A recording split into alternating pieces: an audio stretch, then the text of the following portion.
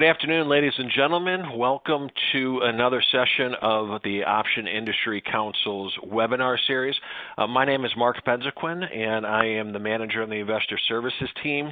And Marty's going to be talking about a concept today called the poor man's covered call. And though we don't want to disparage those investors uh, that uh, have limited funds to uh, invest in options, the poor man's covered call is actually a street term for an efficient way to use the covered call. So, uh, Marty, I'm going to turn it over to you and uh, and have at it, sir. That sounds great, Mark. Thank you very much, and hello, everybody. Uh, I hope you are having a wonderful day. Some of you were watching markets today; they were moving around a little bit. Uh, some of you are getting this on an archive basis, but uh, but today was a busy day in the option world. Uh, let's talk about a couple of things here. Okay, we're going to talk about something called the poor man's covered call. And before we get into that, we're going to do the, the usual disclaimers. We're, we're not here to give trading advice.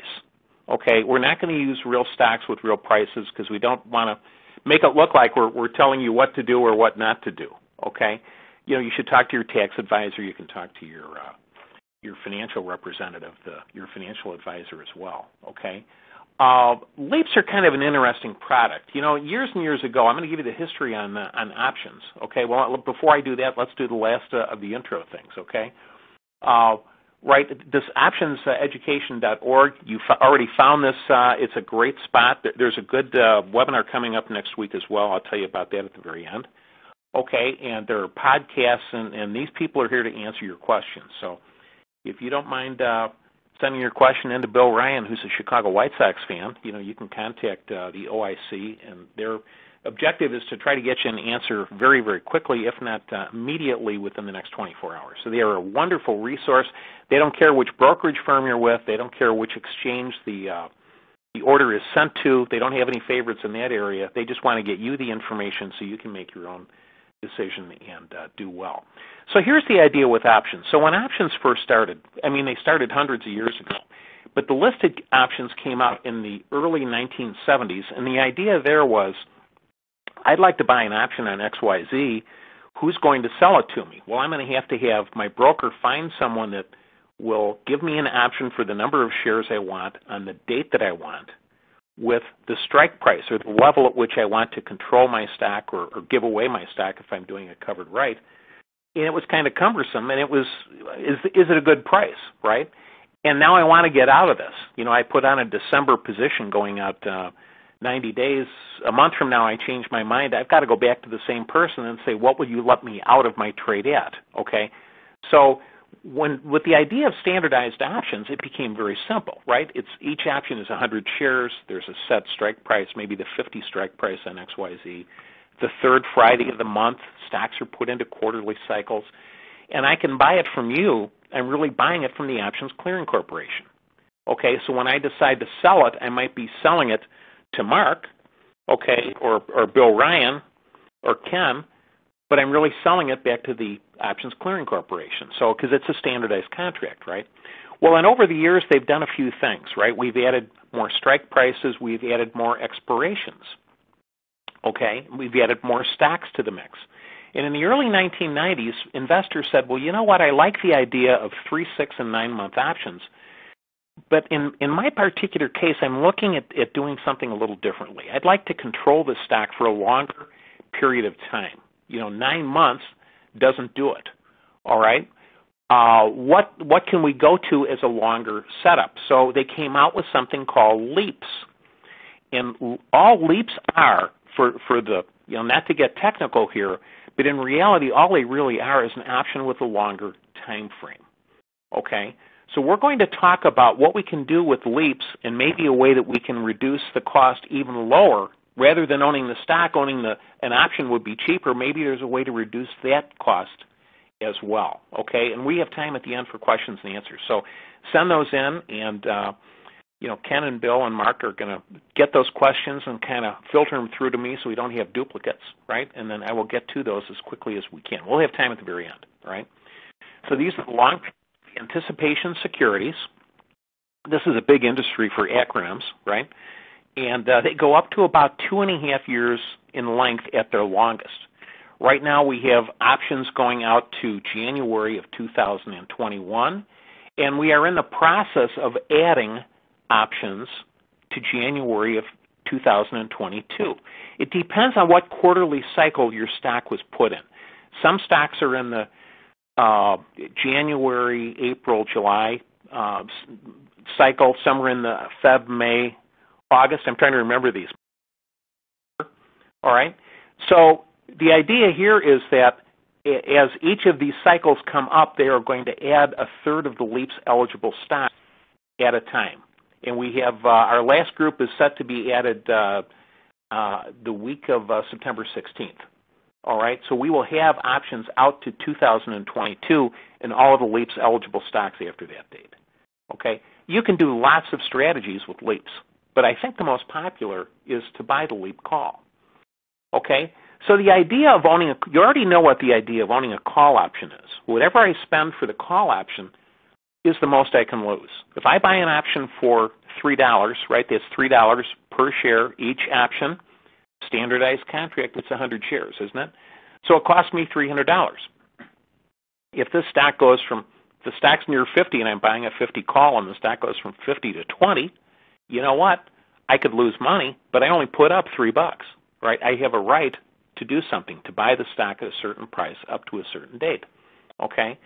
So there may be a cheaper way to own a stock by owning a call, and maybe there's a, a better way to control the stock for a longer period of time by owning a LEAPS or long-term option.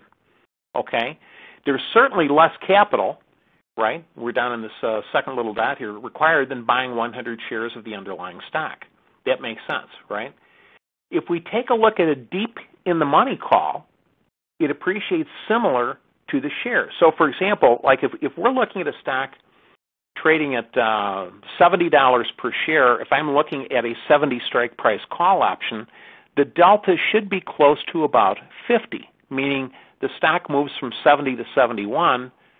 The option that I you know own for three dollars, if it has a delta of 50, it should go from three dollars to perhaps close to 350, shouldn't it? Okay, and in the in the money option might be uh, along the lines of right. Uh, the stock is at 70. If I own the 65 strike price call, hey, it's intrinsically worth five dollars, isn't it?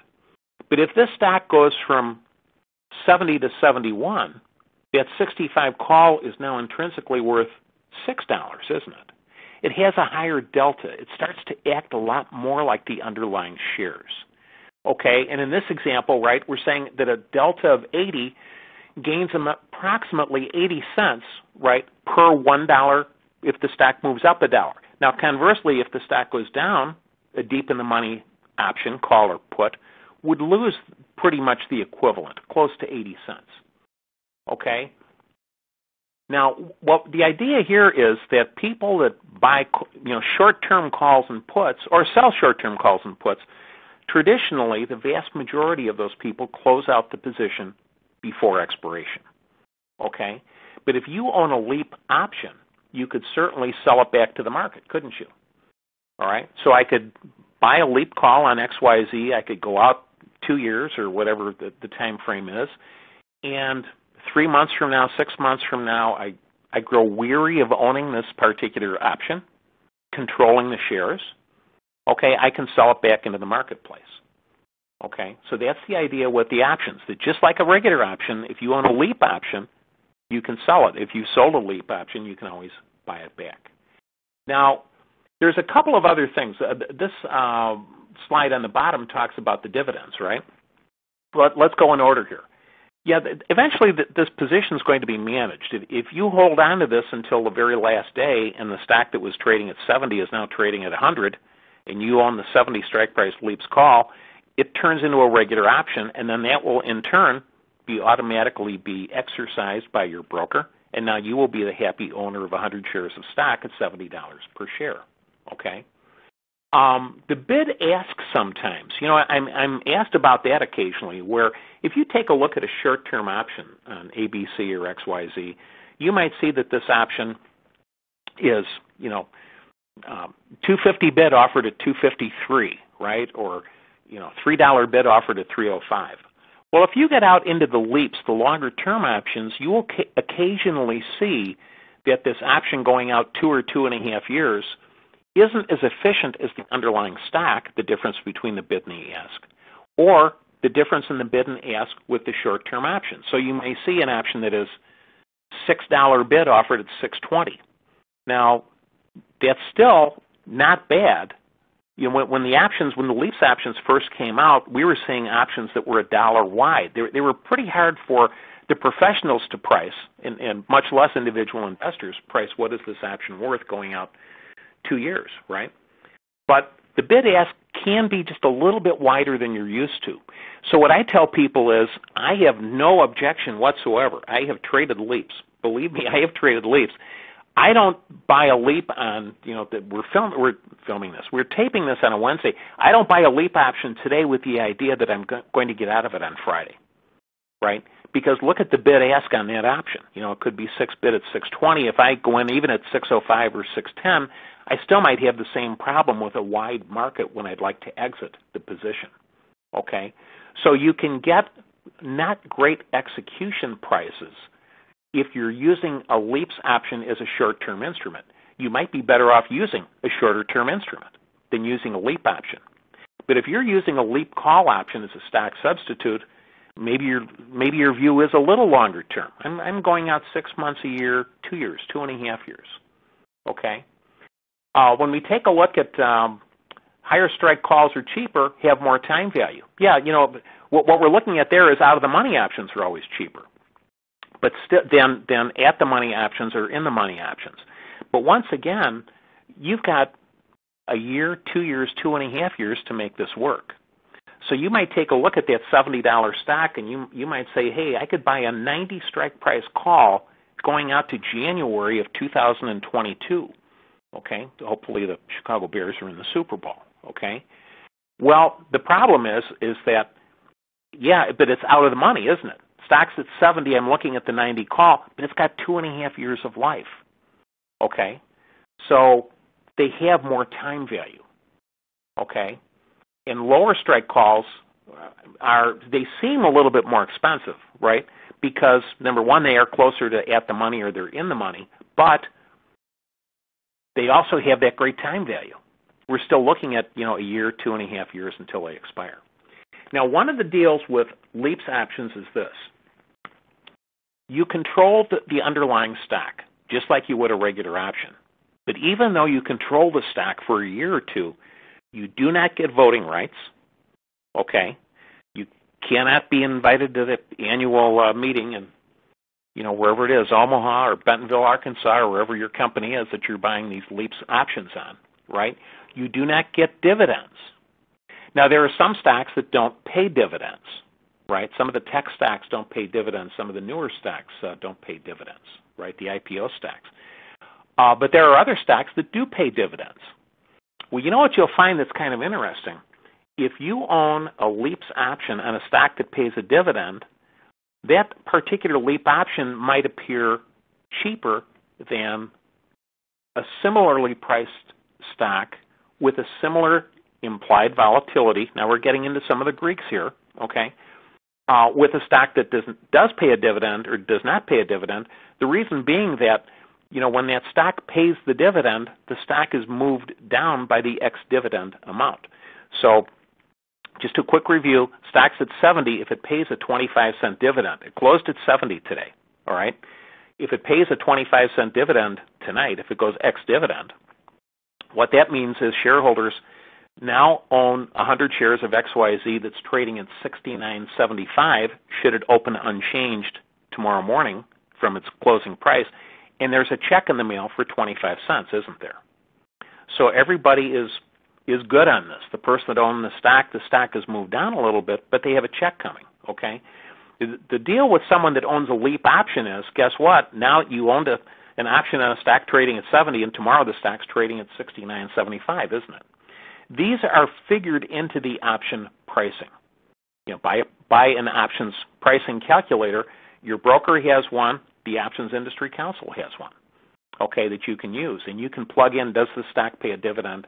And you can get into the pricing of that particular option. When we take a look at time decay, all options decay pretty much every day. Now, theta or time decay is one of the different variables with option pricing, right? We have, you know, what is the price of the stock, which strike price, uh, what are interest rates going lower at this point in time? Is there a dividend? You know, if so, what is the dividend amount? Okay, and the time involved. And every day we hold on to this, and, and with the Greeks, what they say is, you know, we're, we're changing one variable. In this case, let's just the stock stays the same, interest rates stay the same, but one day happened here. Okay, if you own a 30-day option, you now own a 29-day option, don't you? You know, if you own a leap option, you know, going out to whenever, it, it, it was a 560-day option. Now it's a 559-day option, isn't it? Okay, but time decay happens every day. Okay, this is kind of an interesting slide when, when, when you talk about options you know, one would think if you're new to options, well, you you, you would be thinking, well, if a 30-day option is trading at, uh, in this particular case, a dollar fourteen, what would a 60-day option trade for? Okay, it's the same stock, it's the same underlying, there's no dividend. Okay, you would think, well, you know, would it trade for twice as much? Not necessarily so.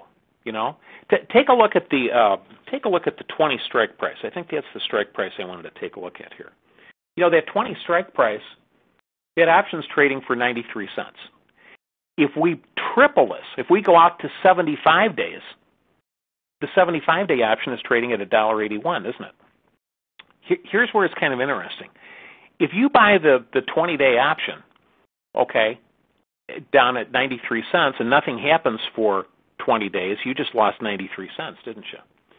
If I buy the 75 day option at $1.81, and nothing happens for 55 days, that option is now a 20 day option, isn't it? It's now worth 93 cents.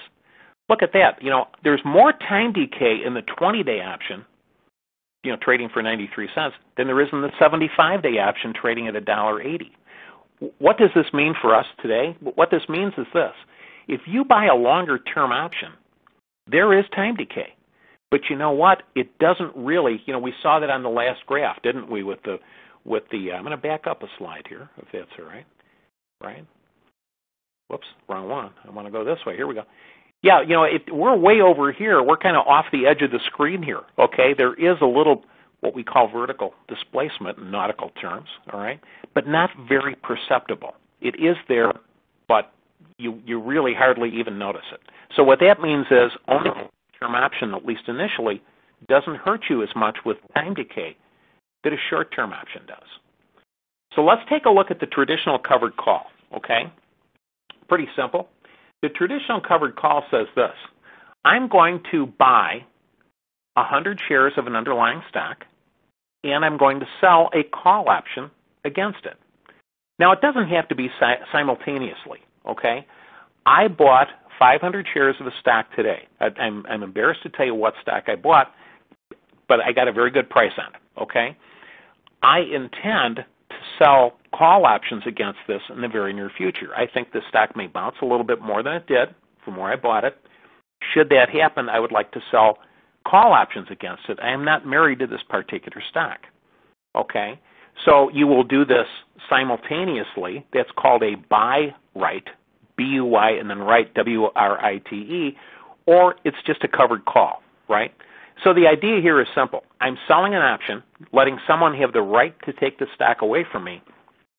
But in this case, I, the traditional way is I own the underlying shares. If you'd like to take this away from me, you've got it. This was the first strategy I ever did. I worked for a company. I had a real job many years ago, and I was buying shares of the company stock. I sold what we what we know as out of the money options. The stock was about 35. I still remember my first trades. I sold the 40 strike price calls, going out a month, six weeks. Someone had the right to take the stock away from me at 40. They paid me a premium for that. Okay, if you want it at 40, you can have it. I've got more. Okay, the options expired worthless. I got to keep my stock. I got to keep the premium. You know, some people do the, the covered call as saying this is a target price where I don't mind losing the stock, is I plan to do on the shares that I bought today. Some people just say, you know what, this is just a good way to bring in some revenue. Okay, bring in a little extra premium. You know, I have the stock. I'm getting a dividend. I'm, I'm getting some premium. I don't really hope to lose the stock, but if it happens, it happens. Okay, and you can always buy the option back if you want to. Okay, as long as you're not assigned, right? You can buy that option back at some point. So the the primary goal here is I'd like to receive some money, and right maybe keep the stock, maybe not, but in, in if I do, it's called away at a higher price, so I get the this movement up in the stock that gain plus the dividend, okay, uh, and the, the premium that I got from selling the particular option, okay. So the investors forecast neutral to, to bullish. You know, I think you're. I, I, think a better term might be neutral to moderately bullish. You know, if I think uh, I've, if I've got a stock trading at fifty dollars and I sell a fifty-five strike price call, I don't think it's going to seventy dollars before expiration thirty days from now. Okay, I think there's a very good chance that this stock could be up 5 or 10%. You know, we go up 10% from 50, we're up close to 55, right? And that's where I have an obligation to sell the stock, but I got paid for it. Okay? So the people that do the, the covered write, if, if you're not bullish on a stock, don't. This is not the strategy for you. Okay? Uh, but the idea with the covered call is, guess what? I'm selling something traditionally out of the money. You know, higher the the call I'm using is higher than the current stock price uh, that I currently have, but I'm covered. Okay?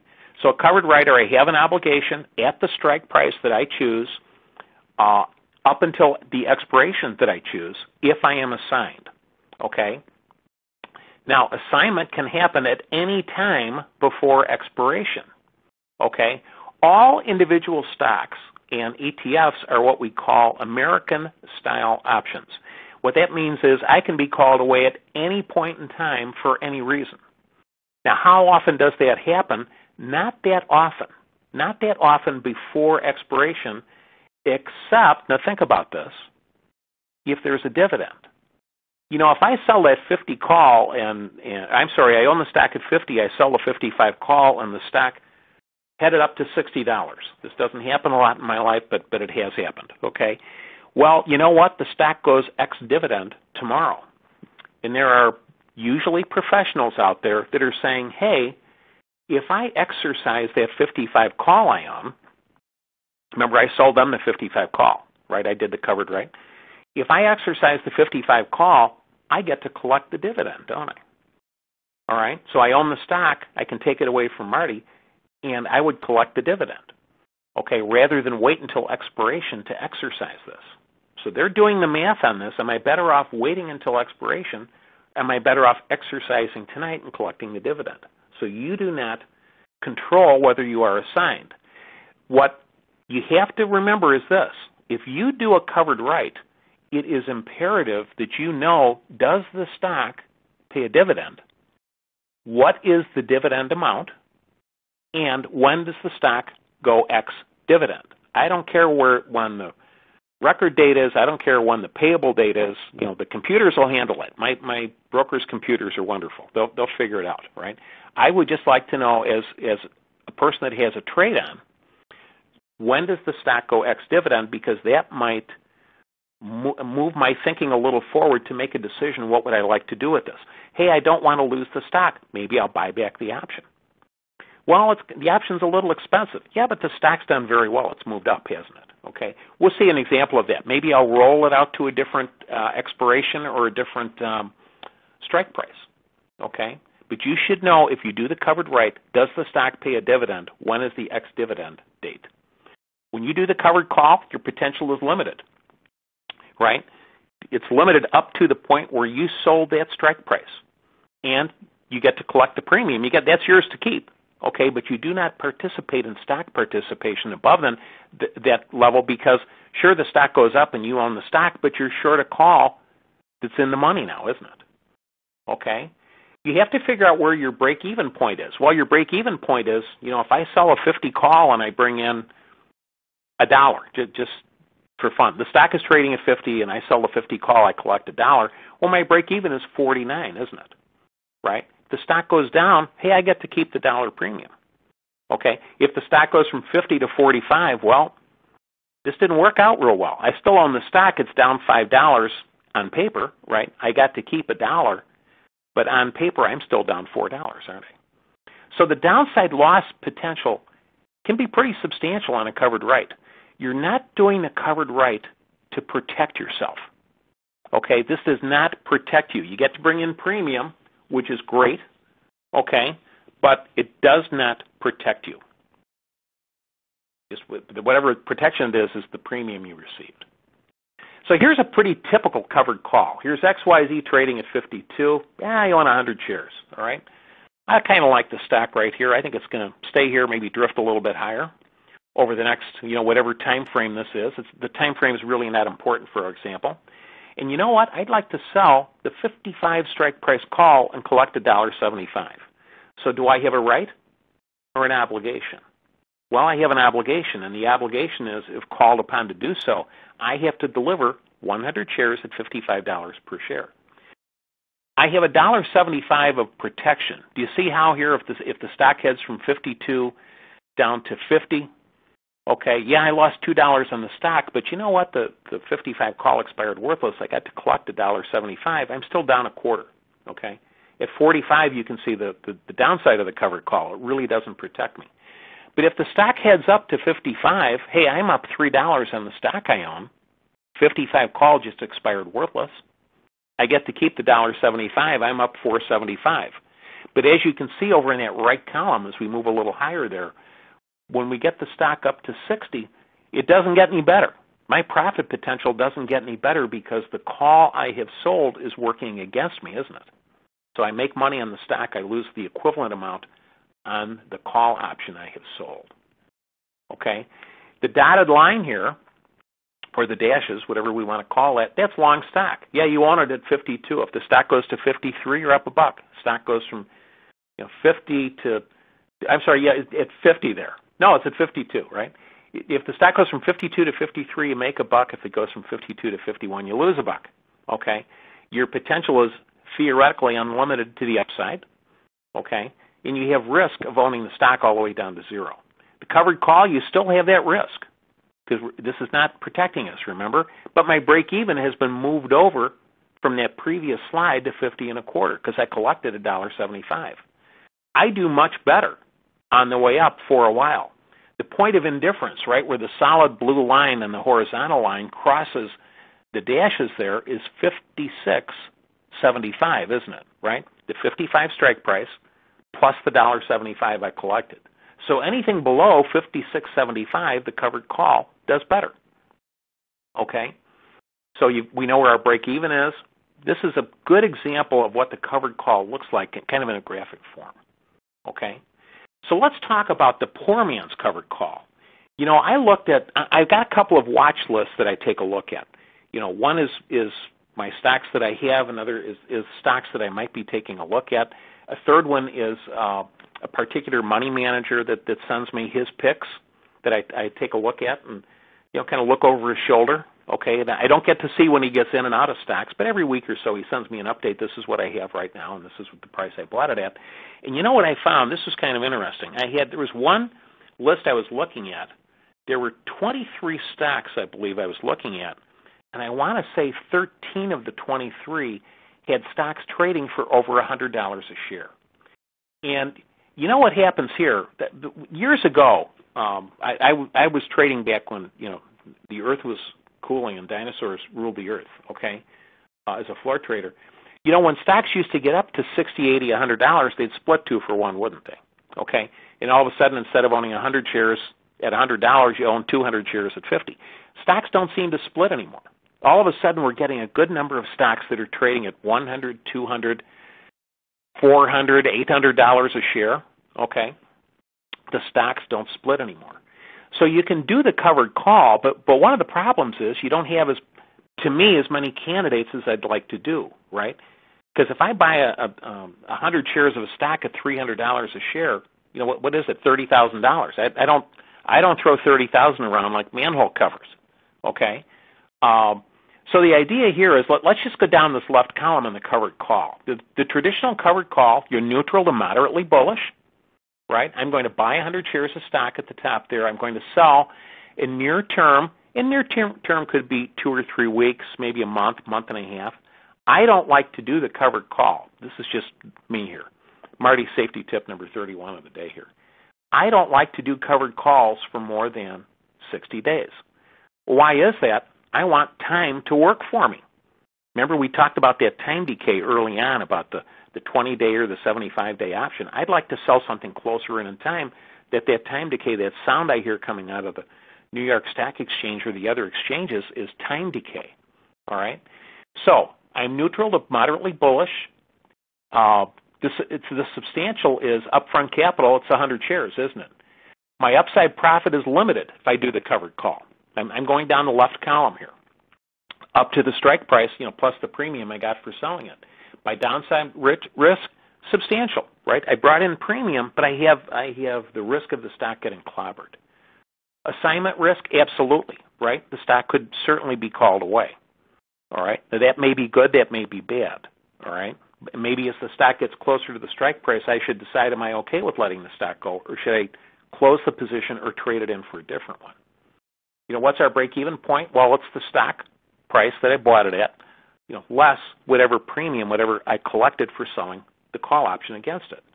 Now, if I take a look at the leaps option, I've gotten the, the, the question, why is it, if I buy one, why is it a leaps and not a leap, right? It's a long-term equity anticipation security, okay? So back to the acronyms again, right? So I'm going to buy a leaps call option. Well, that's good. Now I control the stock for an extended period of time. But we're going to talk about selling an option against it, maybe to lower the price of that leaps long-term option. So in this case, I'm still neutral to moderately bullish, right? I don't want the stock to go to the moon right away because I have an obligation to let it go, right? Your upfront capital, while substantially reduced, it's substantially reduced from owning the underlying shares, right? So if you're looking at a stock at eighty dollars, you have to put up eight thousand. If you buy a Leaps call, maybe you put up seven or eight. Okay, but if I'm doing a covered write against that, maybe I'm bringing in a dollar or two. Okay, so maybe I'm only putting up five or six. Okay, so certainly less than owning the underlying shares.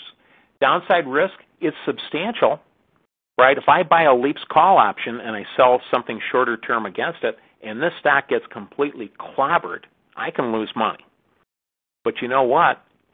It's not going to be the dollar amount. The percentage amount could, would certainly has the possibility of being much higher, right? The percentage of money I lost on the trade, but the dollar amount is a lot less than owning the underlying shares. There is assignment risk, okay? I'll talk to you about this at the very end, okay? The the, the settlement rules, okay? My break-even price is pretty simple. It's whatever the Leaps call option cost me to buy, less the premium I brought in by selling the short-term option. Keep in mind also that as I'm saying this, we're not we're not bringing into account the uh, uh, whatever transaction costs or commissions are involved. Okay, uh, but I do want to bring that up.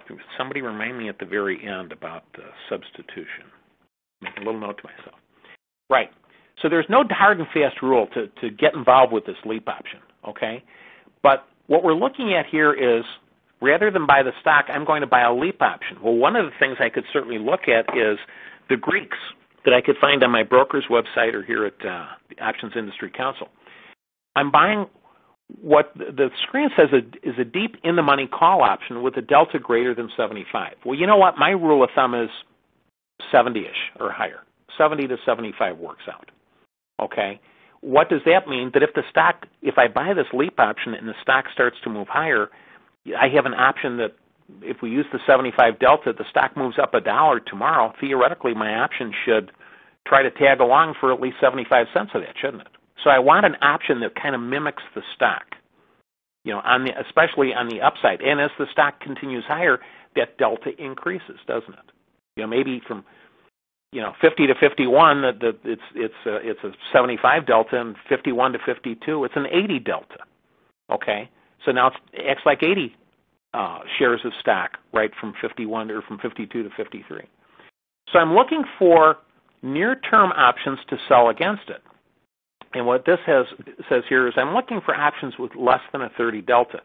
That makes sense to me. I, I might even be looking for something a little bit less, 25 to 30 cents or less than that. Okay? Why? I don't want the stock to get above my strike price necessarily. Okay? You can certainly look for low volatility or low beta stocks, right? Low beta, you know, how will this stock do compared to the market? Low volatility. There's, by the way, next week's uh, webinar is going to be on high volatility. Okay, and you'll be able to ask uh, Jay Soloff about uh, some high volatility trades next week. Okay, but the idea here is I'd like to buy something that acts. I'd like to buy a leap that acts like the stock. I'd like to sell something out of the money with a low delta.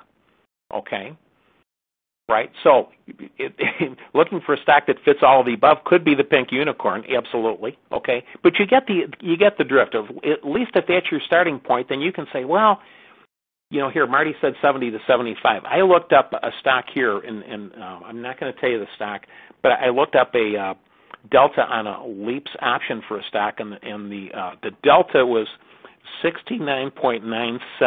Okay, you know what? That's that's as we say, that's close enough for government work, isn't it? Okay, this particular leaps option had a delta. It's a 70 delta as far as I'm concerned. Okay, so you have to decide what your parameters are, and then adjust accordingly. Okay, so here's the setup. Right here's Nicholas on Bubble, the famous Bubble company. All right, make uh, soft drinks. He's been thinking about selling a covered call, but you know what? The stock's trading for 82 bucks. Kind of you know, maybe he could only do one contract, right? Buy a hundred shares and sell one contract against it. He's got eight thousand dollars tied up on this thing. Okay, uh, maybe he should consider this, right? With eighty two hundred dollars of of risk in this thing, instead, why doesn't he do this? Why doesn't he buy a seventy call option going out to January of 2021? So this is the traditional expiration, the third Friday in January. Okay, and that option, you can see the bid ask there. Remember, I told you that some of the bid ask can be a little wide. In this case, it's 20 cents wide. You know, the, the difference between the bid price and the offer price. And let's just assume he pays the offer price. Okay, he would pay 13.60. So what does he have? He has the right to own the stock at $80. I'm sorry, he has the right to own the stock at $70 per share. It's already trading at 82, isn't it? Well, you know what? That option is $12 in the money. That's got a nice delta, doesn't it? Got a delta of 83, meaning if the stock goes up from 82 to $83 tomorrow, this option should go from 1360, maybe the offer would be 1440, right? Somewhere in that general area, 1445. Okay? Uh, but the idea here is there's a couple of things here. One, this option seems pretty cheap going out a year and a half you know what? I would bet that this particular bubble stock pays a dividend. Okay, you know maybe it's only 25 or 30 cents a quarter, but you know what? Those are kind of nibbling away at you know that stock tomorrow. If the, if it went ex dividend tonight, the stock would be at 81.75, wouldn't it? If it was a 25 cent dividend. So once again, there's reasons that that these options look cheap, and there's a reason, and, and that could be what this is. But short term, I still think thirteen sixty, thirteen hundred and sixty dollars, certainly less than putting up eighty two hundred dollars to buy a hundred shares, right? Certainly a lot less than that. I'd like to lower it down even further. Why don't I sell a short term of November? We're going out what about seventy five days here now, okay? Uh, 75, 80, 85 days here. Why don't I sell a short term 85 strike price call against that and collect. In this case, the bid is two dollars and eighteen cents. So, so what do I have here? And, you know, at the end of the day, let's try to figure out what I have here, right? I have the right to buy 100 shares of Bubble at $70 between now and the third Friday in January. Okay? I have an obligation by selling an option. I have an obligation between now and the third Friday in November of this year to deliver 100 shares at $85 per share. This is considered covered. Now, and we're not doing transaction costs here, okay? Here's what you have to remember. If you do a covered write, your broker probably you are set up that everything everything is good here, right? You own the shares, you're doing a covered write against it, no problem. You're approved to do that. But you know what? Most brokers take a look at this as not owning an equity, not owning a long-term equity anticipation security. They're saying, look, Marty owns an option, or in this case, uh, who was it? Larry or somebody, right? Who was it? Nicholas. Nicholas owns a long-term option and Nicholas has sh- sold a short-term option. You have to make sure that you are approved by your broker to do a spread transaction. Okay? I don't think this would be a problem for almost all of you, but you have to get this worked out with your broker ahead of time. Hey, instead of buying the stock, I'd like to buy a leaps call option. I'd like to sell something short term against it. Okay? Then you and, and he or she or they can decide, you know, is this appropriate for your particular condition? Okay? So I'm basically substituting the stock that I could have bought by buying a leaps option against it. Okay? So I paid 1350, I collected 220. Okay? You know what? My net risk is 1130, so $1,130, still less than the 8200 I was risking. I don't think the stock's going to zero, right?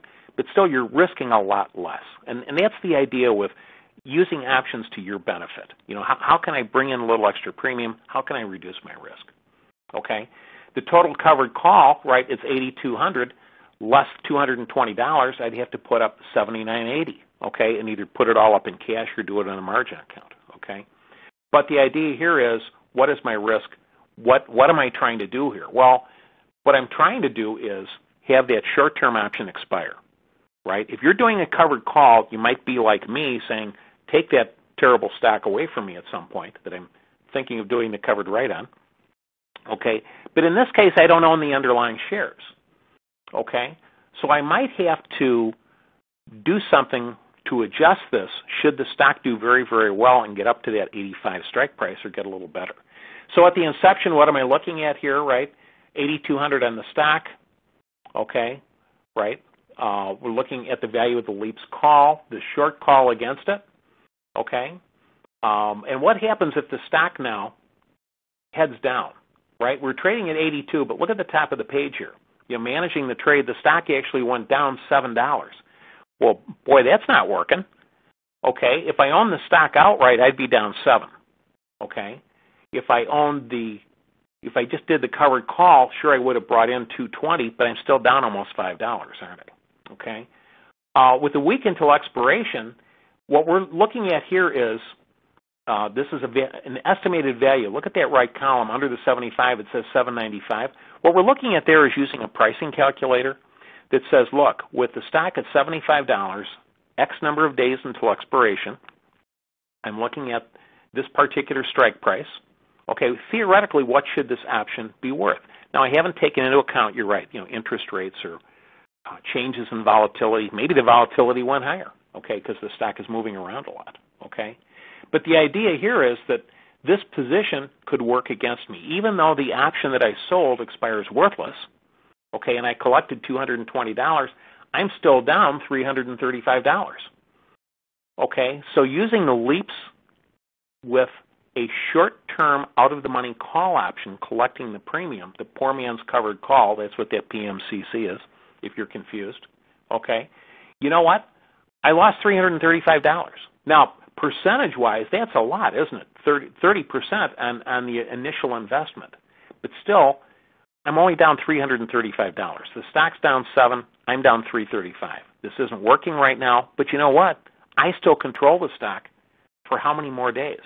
You know, how, how many months? How many years did this option have as a, a lifetime at the beginning here? Okay. The stock's at 85. Well, guess what? All is well, right? The stock went up in value. Okay, that's great. My leap went up in value. Okay, it went from thirteen fifty maybe up to close to sixteen. Went up about two and a half bucks, maybe a little bit less. Okay, why? It's got a pretty nice delta on it, doesn't it? Stock went up three. My option only went up. What do we say here? Two forty. That's okay. It had a delta of eighty initially. Okay, what's this uh, short call worth? Well, what we're saying here is, hey, look, we're expiration week here. That short call option it's worth something. We've got a week to go until expiration. It's worth something. Maybe this is where I want to close that position out. Okay? So look what happened here. The net net is if this stock runs to 85 with a week to go, I'm up 35% on my initial investment. You know, if you buy a stock at 82 and it goes to 85, that's three bucks. You're going to have to help me with the math on that. You know, what is that? You know, four percent, three and a half, four percent. That that's pretty nice. Okay, I'd take that. But you know what? Using the leaps as a substitute and, and offsetting it with selling another money call, you're doing even better. Okay, stock goes to 90. This is where our problem happens, right? You've got to decide how am I going to do this because you don't have stock to deliver, right? You're probably going to have to buy back the call, all right, and then sell a 90 or 95 option going out 30 days if you want to lower that cost. You did well with the stock and the leaps call. You're not losing money, but you're not making money up there. Okay? And I'm going to back up here for a second. The other thing that happens is this. Let's just say that the stock goes to 90. Okay, this isn't in your slides here, but, but close your eyes and listen, all right? The stock goes to 90 and you wake up one day and you get a little notice from your broker either by phone or by text or, or by an email saying, hey, Marty, congratulations, you were just assigned on your short 85 strike price call. Your new position is you own a leaps call, right, that's deep, deep in the money, all right? You own the 70 call, the stock's at 90, it's $20 in the money, excuse me, but you're also short 100 shares of stock. Well, the easiest thing I think you could do is buy back the stock, sell something against it. You know, reinitiate the position with owning the leaps call, and maybe being short a 95 strike price call for December. Okay, or maybe you just maybe you just buy back the stock, and now you own the leaps call outright. Hey, the stock's doing even better than I expected. I'm going to let this thing run for a while. I don't want to do the covered call.